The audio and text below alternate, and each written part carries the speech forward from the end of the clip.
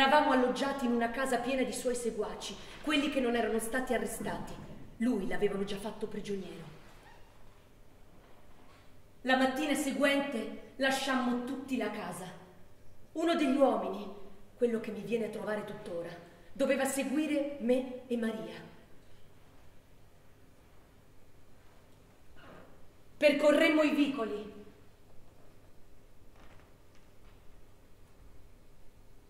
Finché ci trovammo in un vasto spiazzo pieno di gente.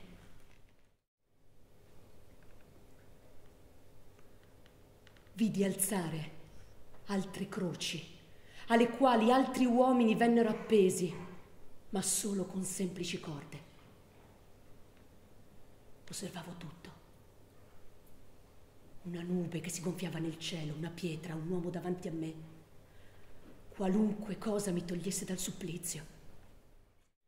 La mia guida aveva dentro di sé come una luce nuova e questa luce fece sì che prima due estranei e poi altri che lo sapevano un suo seguace, ci offrirono aiuto.